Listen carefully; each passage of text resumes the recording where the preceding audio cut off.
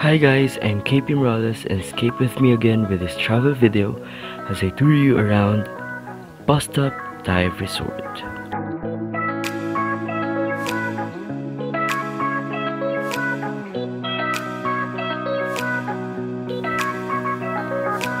Some says that summer is all about fine beaches, making yourself tan, and most of all, swimming.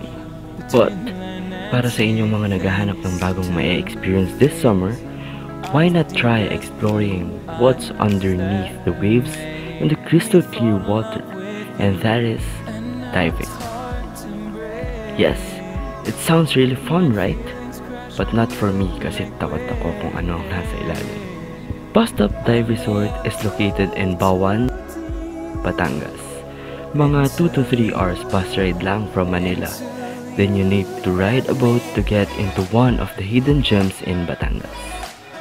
Oops! Yes, boat ride. Pero hindi meaning na nasa kabilang isla. You need to ride a boat kasi nasa kabilang side siya ng island and walang land travel para makapunta ka sa resort. Anyway, i-explain ko na lang ng mas detailed later. Pagdating mo sa resort ay i-welcome ka kagad ng mga nagbo-work doon. Bibigyan ka ng basang towel to relax yourself galing sa isang mainit na boat ride. Then after nun, gina sa room mo para makapagpahinga ng isang buong araw. Hindi, joke lang. Sobrang relaxing kasi ng place, parang ang sarap na lang humiga at matulog. Pero hindi para dyan ang resort na to. By the way, they have different packages na pwede nyong piliin like glamping, where you have a tent for 2 days, 1 night, or pwede ring aircon room or fan room, depende sa'yo. At lahat ng yon ay may kasama ng boat transfers, 4 meals at 1 snack, gears for diving at unlimited snorkeling. Anyway, I'll put the link of their Facebook page sa bio para mas ma-explore mo kung anong mas okay para sa'yo. Anyway, dahil takot nga ako sa ilalim ng dagat, what I did is to focus myself sa isang part ng experience in this resort, which is food. Based on my personal experience, they serve really good food here. Yung pakiramdam na parang luto talaga sa bahay yung mga food, so iba talaga yung feeling. So ito ang ilan sa mga food na sinaserve nila.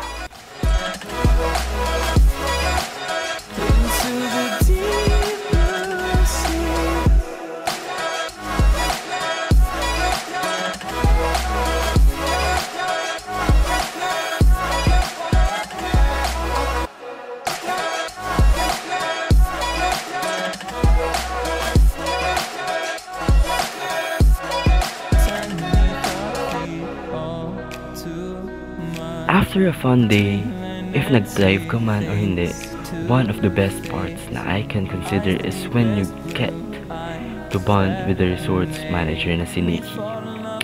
Na I can say na she's really cool queen right there, yes. Sobrang accommodating and sobrang chill talaga.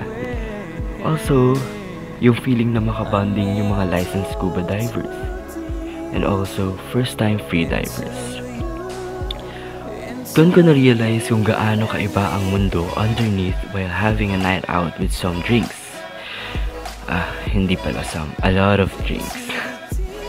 yung pwede mo makita underneath, like the cross, chats, na sobrang overwhelming sa ganda based sa kwento nila. Pero don't worry kasi may mga experienced divers na magtuturo sa'yo kung ano ang mga do's and don'ts sa activity na to. So yun, hindi ko man na-try ang diving first hand na nagsisisi ako. I will definitely go back and experience it personally and hopefully makonquer ko ang fear ko underwater. Kasi at the end of the day, ang important rules daw sa diving ay huwag magpanic. At meron ka namang body na aalalay sa along the way. Moving on, Here's the detailed way on how to go to Bus Stop Dive Resort. Number 1. From Manila, ride a bus at Jamliner Cabao going to Lemri, Batangas. it's about 220 pesos. Second is drop off in front of Central Mall, then ride a trike towards Sunrise Cruise Parking A. It's about 200 pesos for 4 packs. In Parking A, ride about to Bus Stop Dive Resort. Mga nasa 200 plus yon per box. So that's it. Thanks guys for watching. Escape with me again next time. See you again. And bye-bye.